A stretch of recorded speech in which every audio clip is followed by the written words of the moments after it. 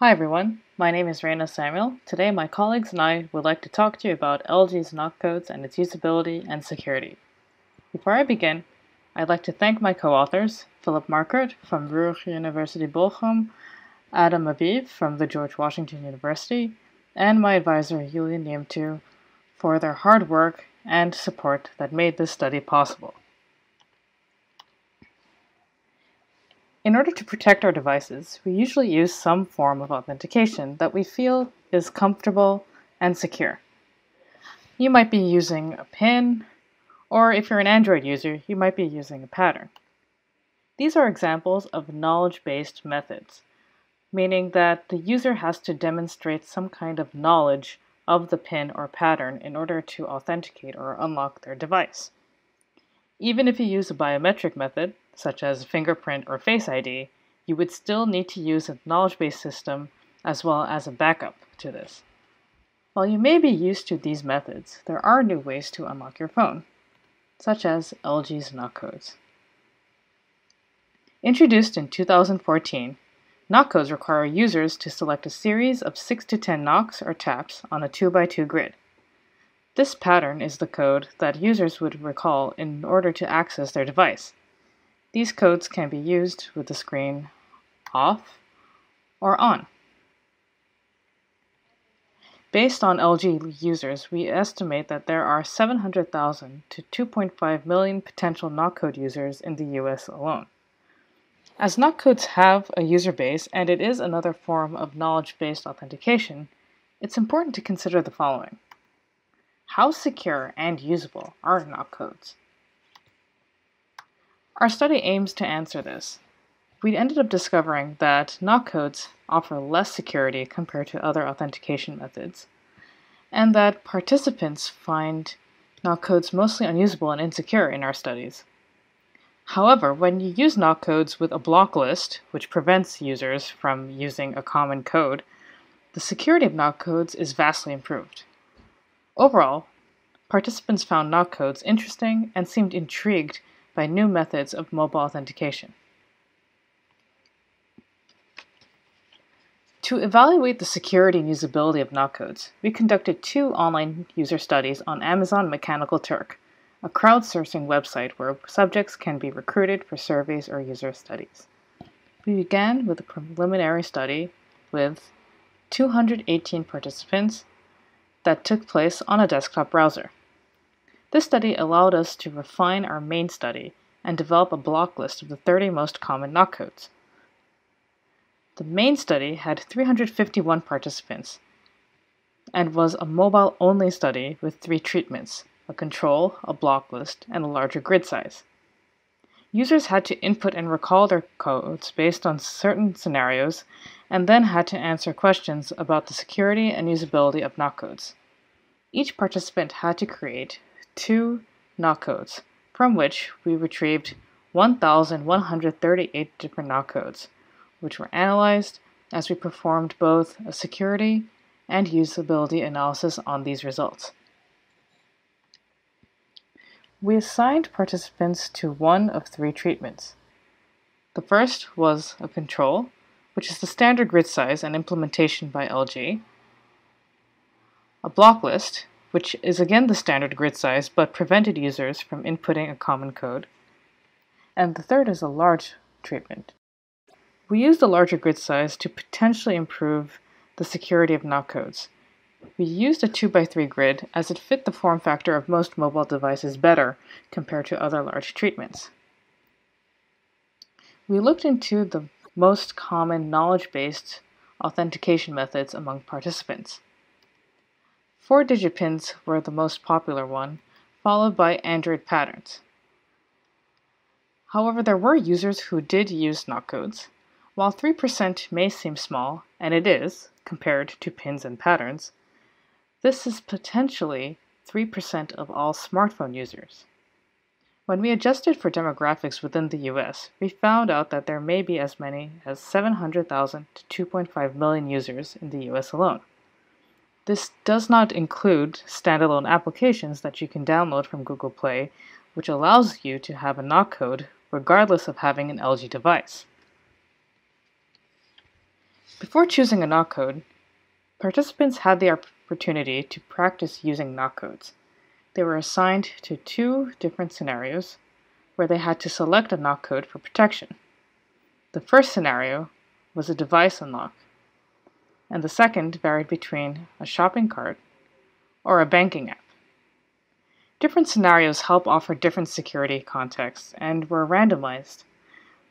Participants were prompted to provide memorable codes as they had to recall their selected codes at the end of the survey. In the end, regardless of the scenario, there were no major differences found.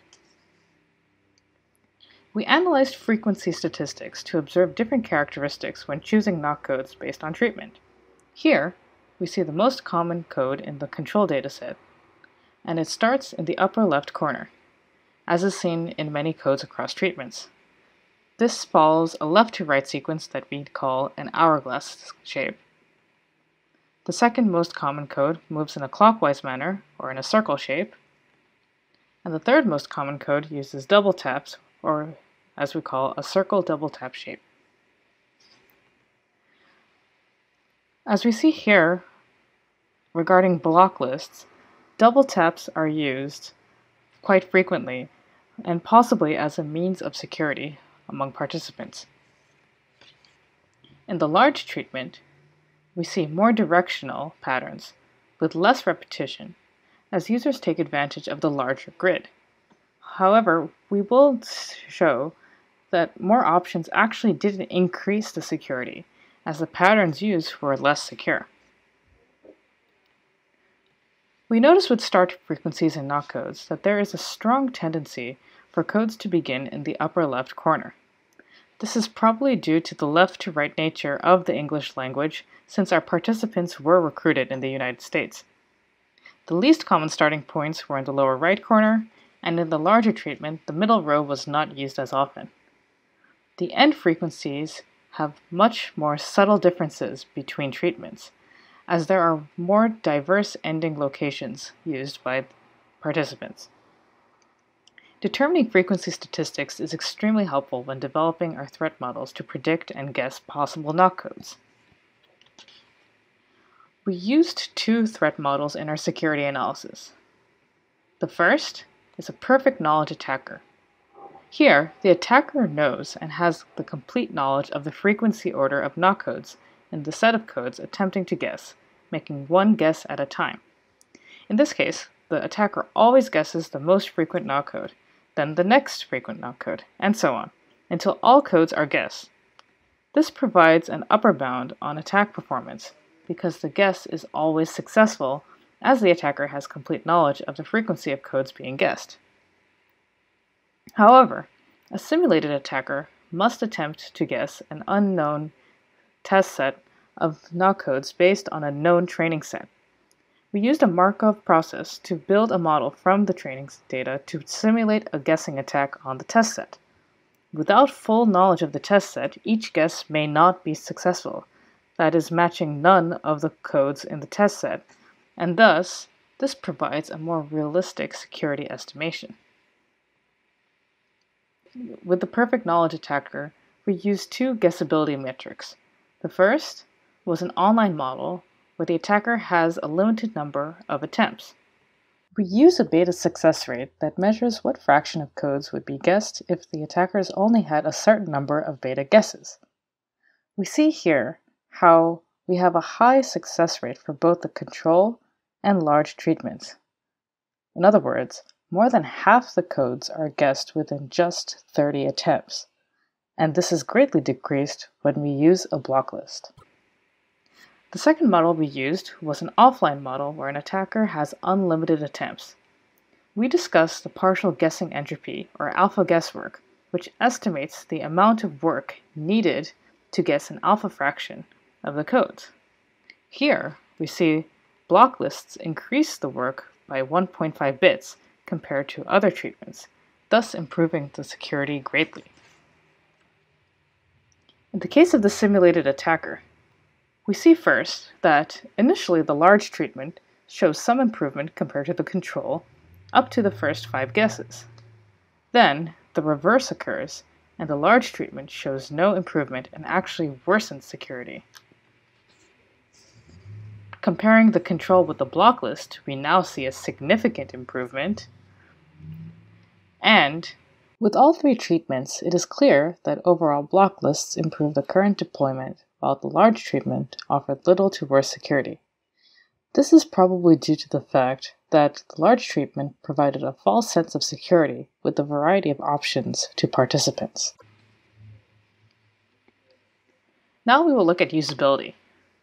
Starting with entry time, or the time one takes when one unlocks their phone, we see that knock codes are much, much slower than other standard methods, such as pins and patterns.